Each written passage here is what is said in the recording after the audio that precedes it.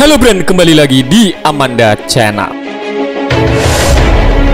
Nah ini Indonesia dan perusahaan Jerman membahas kapal selam HDW kelas 209 dan 214 untuk kebutuhan TNI Angkatan Laut Brand Dalam kabar terbarunya usut punya usut delegasi Indonesia dari Angkatan Laut dan Kementerian Pertahanan telah mengadakan pertemuan lagi dengan pembuat kapal Jerman Thyssen Krab Marine System atau TKMS Kalau tidak salah ya Brand, semengetahuan Mimin Pembelian TKMS kapal selam dari TKMS Jerman ini untuk menggantikan KRI Cakra nantinya kan kalian kalian tahu sendiri kan KRI Cakra kapal selam Cakra itu sudah tua dulu kayaknya ini buat mengganti itu brand Kali ini membahas tentang kapal selam mod HDW Class 209 1400 untuk kebutuhan peperangan bawah laut Jakarta. Pertemuan itu diadakan secara virtual pada 12 Januari kemarin. Sumber yang dekat dengan diskusi telah memberitahu Jens Hal yang dibahas antara lain profil misi HDW Class 29100 1400 MUD dan apakah dapat melakukan misi yang dibutuhkan TNI Angkatan Laut termasuk peperangan kapal selam konvensional dan operasi lainnya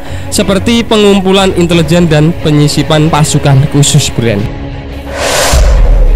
Nah usut punya usut HDW Class 209 adalah versi terbaru dari 209 keluarga kapal selam bertenaga diesel dari Jerman. Jadi usut punya usut kapal ini dari Jerman bukan kaleng-kaleng lah, brand bukan buatan Cina. Kopong nanti. Nah, kapal ini dalam spesifikasinya mempunyai panjang keseluruhan 62 meter, diameter lambung bertekanan 6,2 meter dan mempunyai bobot sekitar 1450 ton. Saat muncul ke permukaan, kapal ini dilengkapi dengan 8 tabung senjata rudal dan dapat menampung kurang lebih 30 prajurit TNI Angkatan Laut Brand. Nah bagaimana nih? Menurut kalian terkait pertemuan delegasi Indonesia dan Kementerian Pertahanan dengan perusahaan Jerman terkait pembicaraan pembelian HDW Class 209 dan 214 tipe 209 dan tipe 214 Brand silahkan jerat bicara di kolom komentar Nah dalam pertemuan itu juga dibahas kembali keluarga TKMS kelas 214 yang dapat dilengkapi dengan Air System Independent Propulsion atau AIP Ini adalah pertemuan resmi kedua yang diketahui diadakan antara pejabat pertahanan Indonesia dan TKMS seperti yang dilaporkan oleh Jens pada Maret tahun 2021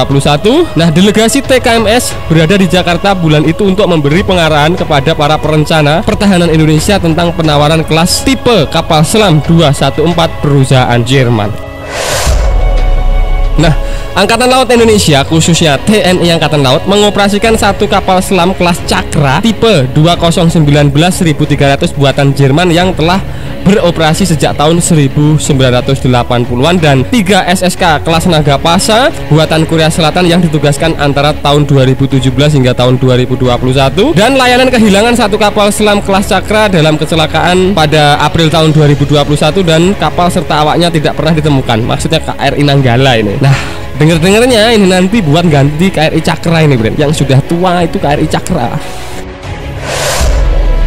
Nah brand itu tadi pembahasan admin seputar usut punya usut Indonesia dan perusahaan Jerman bahas kapal selam tipe 209 dan tipe 214 untuk kebutuhan TNI Angkatan Laut Nah bagaimana menurut kalian terkait hal ini? Silahkan jerat di kolom komentar Nah friend oke sekian dulu video dari Amanda Channel.